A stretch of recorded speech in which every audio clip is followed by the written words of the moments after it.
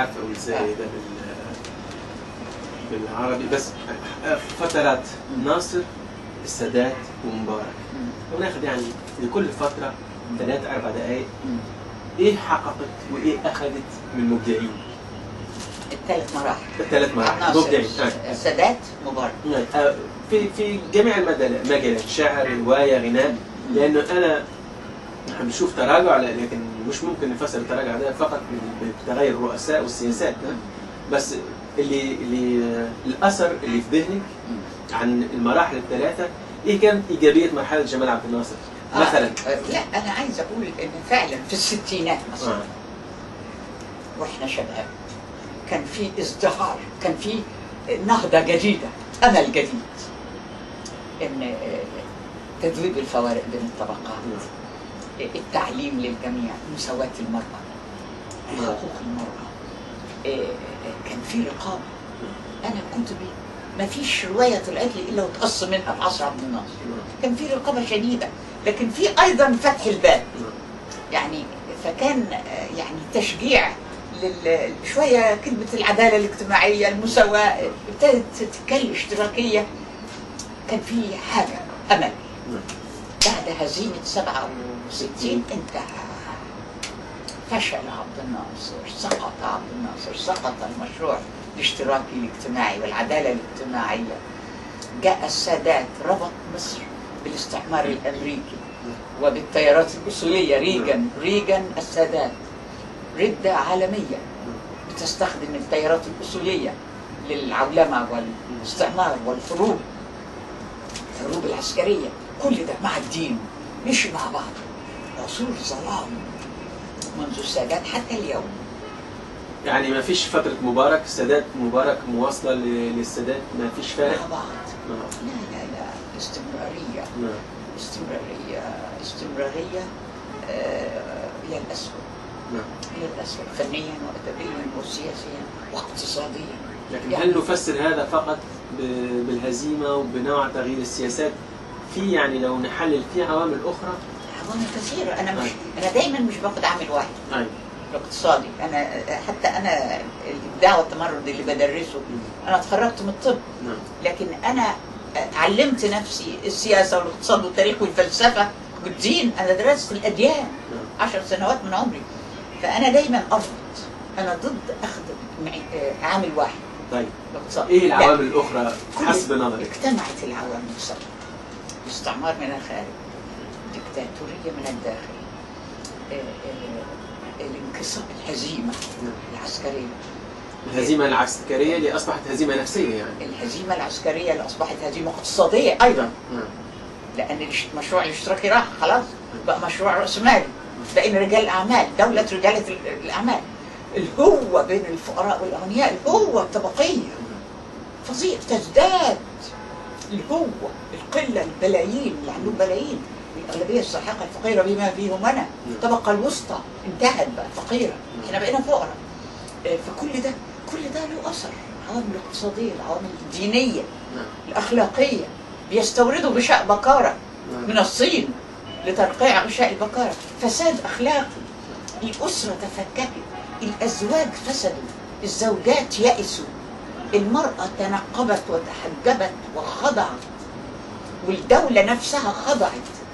خضوع كامل سياسي واقتصادي.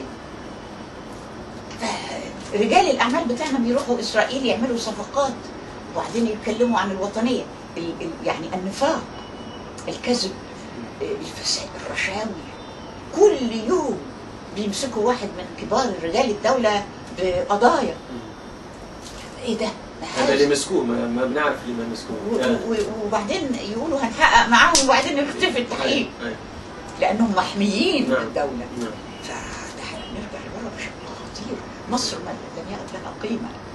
دلوقتي أنا لما كنت بره الثلاث سنوات دي مصر ما حدش بيجيب سيرة مصر. إيران هي إيران.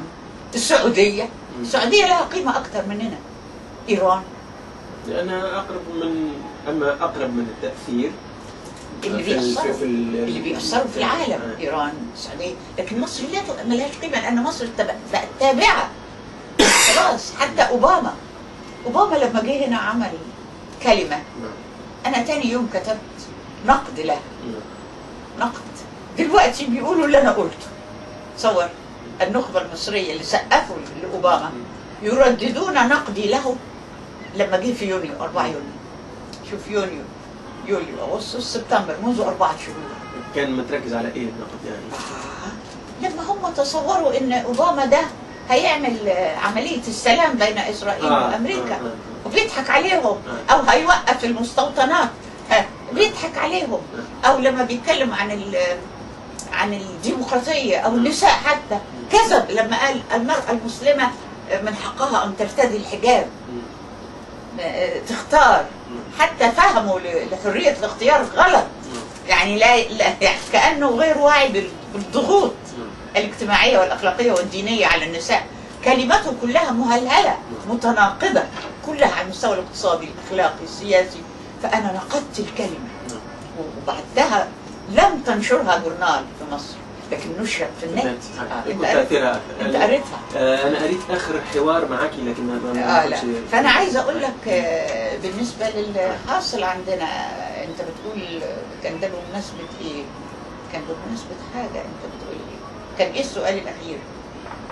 على ال- ال- ال- الفترة فترة آه الاخير مبارك آه أيوة.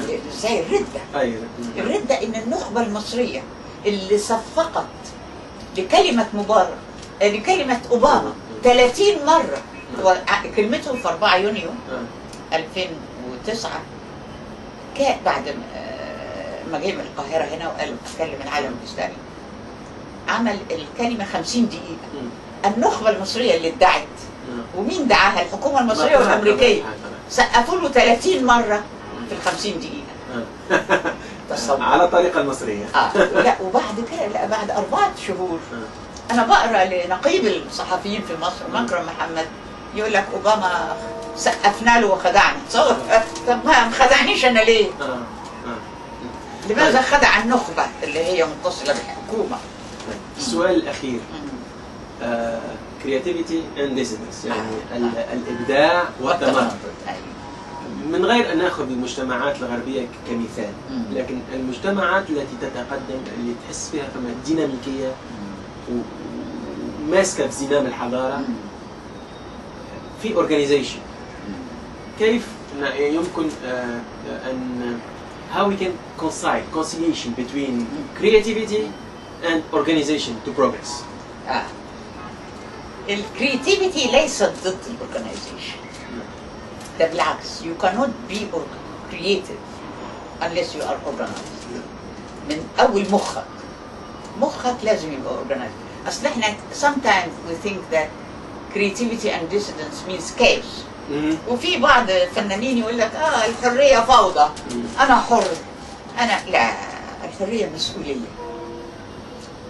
يعني الحرية والمسؤولية جناحان نعم. لطائر واحد. ال creativity الابداع أنا لا يمكن أكتب رواية إلا إذا كنت organized. بنظم وقتي. بنظم عقلي. بنظم حياتي. ده على المستوى الفردي. على المستوى الفردي على والمستوى الجماعي. نعم. المستوى الجماعي يطرح challenge يعني. challenge طبعا طبعا. ما هو ده يتوقف على أي نوع من الفن أنا بعمله. مم. أي نوع من الإبداع. ما هو في إبداع اللي بيسموه فن للفن. نعم. أنا أقعد كده في برج عاجي وأكتب قصة عن الحب. نعم. أو أعمل لوحة وأعمل ألوان جميلة كده والناس يقولوا الله الألوان دي حلوة. أو ألبس آه، أحط مكياج. آه دي ست حلوة. لاحظ ان أنا مش حاطة مكياج. أنا ضد المكياج. أنا ضد المكياج. وضد الألوان البراقة من السطح كل ده فالابداع الحقيقي. اللي بقول لك جاي من الوجع جاي من من, هنا من القلب بي- بيلغي ال- ال- الفاصل بين الذات والآخر. بتبقى انت الآخر. ما تقدرش تعيش بدون الآخر. تقدرش تعيش في برج عادي. أنا لما بكون داخل أنا دايما اعمل منظمات تضامن المرأة المصرية تضامن المرأة العربية التضامن العالمي من أجل مجتمع مدني. جيت هنا عملت التضامن المصري. لازم أنا الإله عندي هو الجماعة الجماعة العمل الجماعي ده الإله. نعم. تجاوز أنت تتجاوز ذاتك إلى الآخر. كيف يصبح الآخر هو أنت؟ ومصلحة الآخر هو أنت مصلحتك. ده الإبداع. هو ده الإبداع الإنساني مش الإبداع ال- إن أنا اقعد كذات منفصلة كده لا صحيح لما أكتب بقى بقفل الشبابيك نعم. لكن لما متصله بالعالم لأنه العالم فيك يعني. العالم فيا يعني. بالظبط. العالم فيا وأنا في العالم. نعم. هو ده. فده ليس ضد الاورجنايزيشن ابدا.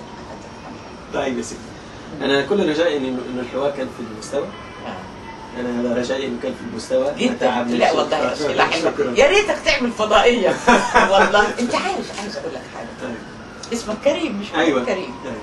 تصور أنا عمري ما شفت حوار ليا نعم. في جورنال أو في فضائية كويس. ليه؟ كله سطر. على مستوى المحاورين. آه، ما يعرفش اصله ك- نمرة واحد ما قراش. آه. لم يقرأ لي. آه. زيك أنت قرات وعندك نعم. 17 سنة. آه. لا يعرفني. نعم. واصل انت عشان تعرف واحد وتعمل حوار معاه لابد أن تقرأ له. نعم نعم. وهو تتابع يعني تتابع حتى ال- وتقرأ له على الأقل كتاب أو كتابين. نعم نعم. أنا عندي 47 كتاب نعم.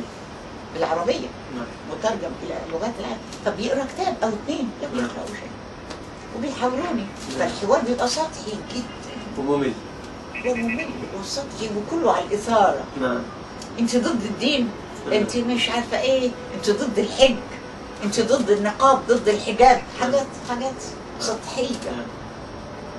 ولذلك أنا رأيي إن الإعلام العربي آه، مسؤول عن ضمور العقل. نعم.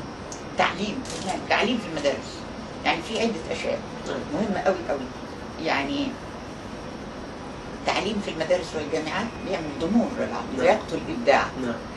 الأديان التدين يقضي على العقل يجيب الغيبيات والخرافات السياسة قائمة على تجهيل الشعب لأن لو الشعب اتوعى إيه، ما يحكموش.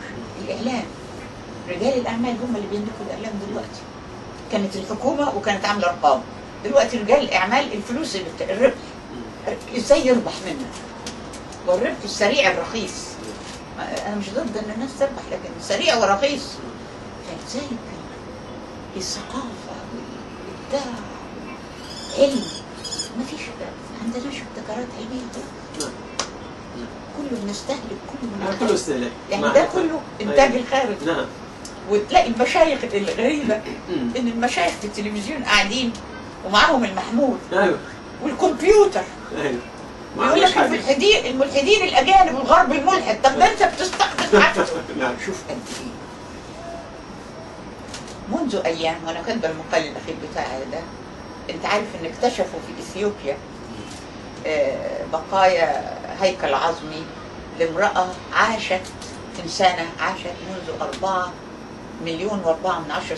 آه، عام يعني من أربعة مليون سنة. أربعة مليون ونص سنة كان الإنسان يعيش على الأرض نعم ده بيناقض النظريات الدينية نعم والتوراة وكله ف ده- موضوع ده موضوع آه، خطير ومهم. انت عارف أنا بقى أنا كنت في ماسيدونيا. نعم. العالم كله بيتكلم عن هذا الحدث العلمي. نعم. لأنه معرفه الإنسان للإنسان. طبعا نعم. كمعركة هامة. مم. واكتشاف علمي هام. نعم. يؤدي إلى اكتشافات أخرى. عارف الإعلام العربي بيعمل إيه؟ قاعدين. جايبين مشايخ. اولا ما جابوش علماء يناقشوا الموضوع. جابوا مشايخ. والمشايخ يقول لك إيه؟ آه ده شوف انتصر الإسلام. وانهزم داروين اللي قال الإنسان أصله قرد نعم فانهزمت نظرية داروين ويحيى الدين. مش مش فاهم حاجة بالاساس يعني تحول الحدث العلمي إلى حوار ديني. نعم. ما فيش علاقة مبني على الجهل. نعم.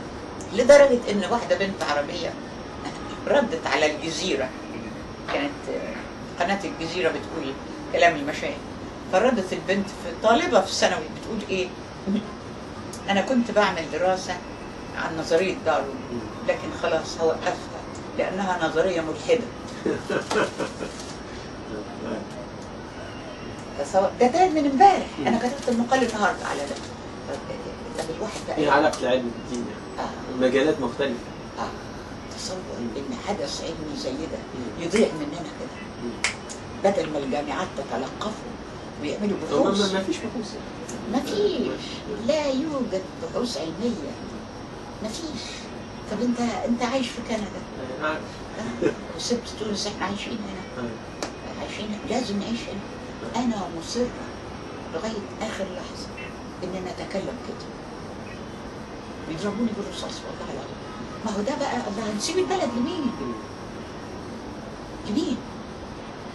أنا ما وجدتش نفسي في أي بلد.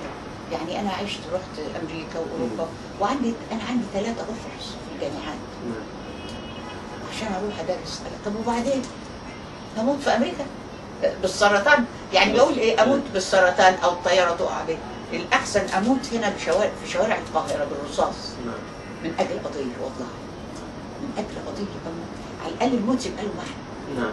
آه، معنى معنى الحياة. معنى. نعم نعم معنى معنى